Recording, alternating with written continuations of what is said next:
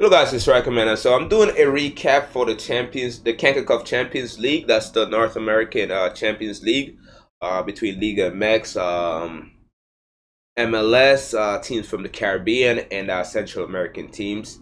And uh, so far, man, round of 16, uh, a lot of goals so far, man. And MLS teams has been mixed result for MLS teams, man. they've there's like there's like what four MLS team in general in the tournament and um yeah they, they lost and win games man. Same with uh Liga MX it's like four Liga MX team and it, they, they like two for two lost two and one two and uh it's been crazy. It's been crazy man.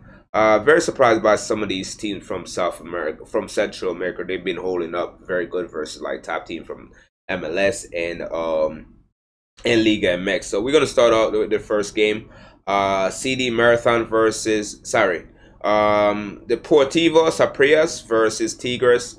Um, the first game of the tournament, and that game ended in a 1-0 win for uh, Saprissa. Man, Saprissa, um, they from Costa Rica, man. They were at home and uh, they were able to beat uh, Tigres, man. Tigres feel a very good team. The only play that Tigres was missing was uh, Gignac, man. So great win for them uh 1-0 at home on the, the away game should be very tough man. I think tigres should be able to come back and win their away game at least 2-1 or i say 2-0 1-0 man. Uh, i say 2-0 they should come back and win this game big man because they have the talent they have the the um the ability to have a very good coach and they have a very good team all around man. When it comes to like money spent on teams tigres probably one of the best team in the in the tournament so far. They're the favorite for uh, they should be the favorite, man, but they're not playing like they're their favorite right now.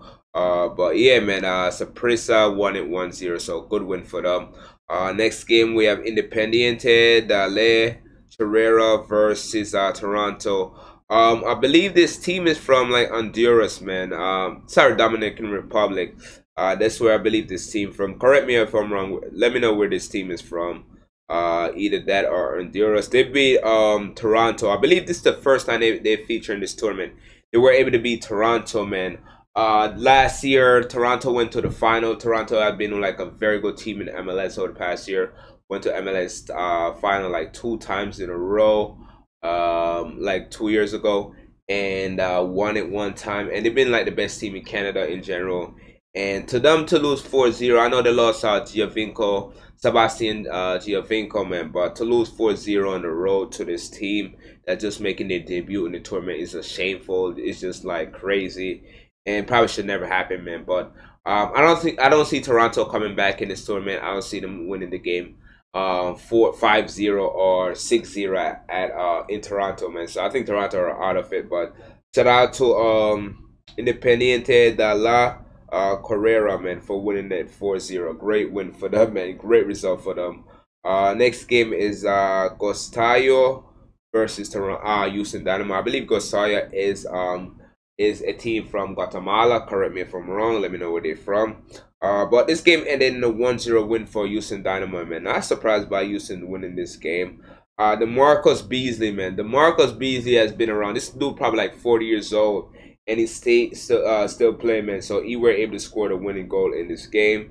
Uh, next games were CD Marathon versus Santos. That game ended in a 6-0 win for Santos, man. Santos look unbeatable, man. They probably should have scored more goals, man. But it should be a very interesting game in um in Mexico when they when they host uh Marathon, man. It should be a very interesting game. Uh, next we have is uh Pantoyo, Pantoyo um versus the New York Red Bulls.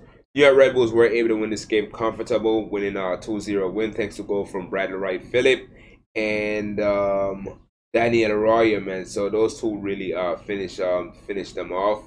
Uh, next game we have was I believe uh Sporting Kansas City. Sorry, let me get this up. Sorry about that fixture. So next game was uh Alianza FC versus uh, Monterrey, man. Alianza is a team from El Salvador. And my money was on Monterrey, man. Monterrey has been phenomenal so far in the Liga MX. Uh, uh, Clausura, uh, I believe they're undefeated right now, pretty much top of the league and looking very good.